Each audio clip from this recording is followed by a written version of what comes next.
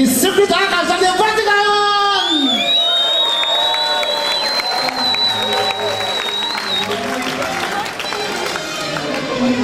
Thank